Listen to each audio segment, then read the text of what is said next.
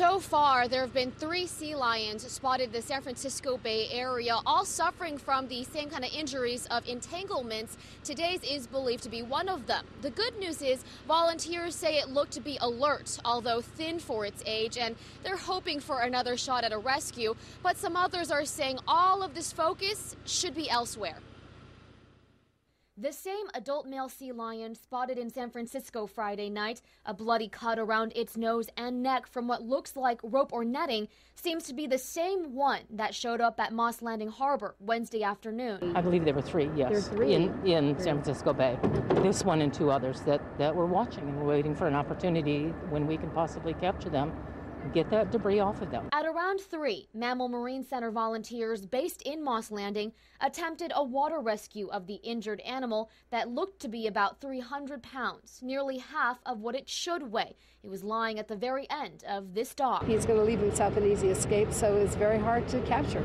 Volunteers set up a large net, or kamikaze net, in the water right by the sea lion.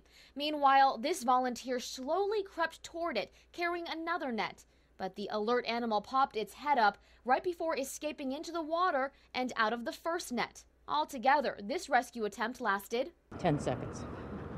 It happens in just a flash. And you either hit them or you don't. You've got one chance.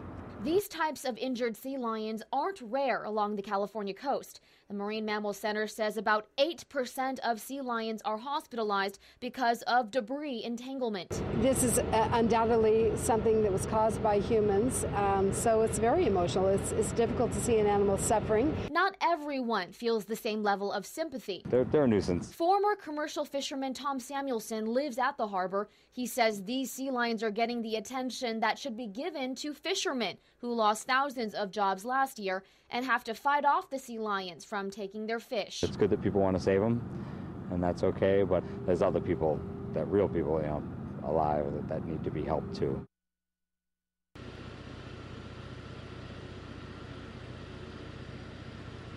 Now, the Marine Mammal Center volunteers say they don't do any nighttime rescue attempts because it's dangerous, not only for the volunteers, but also for the injured animals that are very scared and, uh, you know, very alert. And so they don't do the nighttime rescue attempts. But they are asking people to please call the Marine Mammal Center if they see anything, day or night, and they'll get out there as soon as possible. And we'll have that number posted on our website. Aaron? All right, Stephanie, thank you. Uh, the number of sea lions spotted in the San Francisco Bay has dwindled in recent months, down from 1,700 in mid October to just about 20 sea lions uh, a month later. Experts say some have migrated here to the Monterey Bay near Moss Landing, trying to find food.